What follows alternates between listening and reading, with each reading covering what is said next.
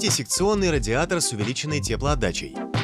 В этом видео мы распакуем радиатор Royal Thermo Revolution 500. Он поставляется в надежной упаковке вместе с техническим паспортом и гарантийным талоном. Монтажные элементы в комплект не входят. Радиатор имеет современный дизайн и нейтральный белый корпус. Ширина устройства не превышает 80, а глубина 8 см. Межосевое расстояние 50 см.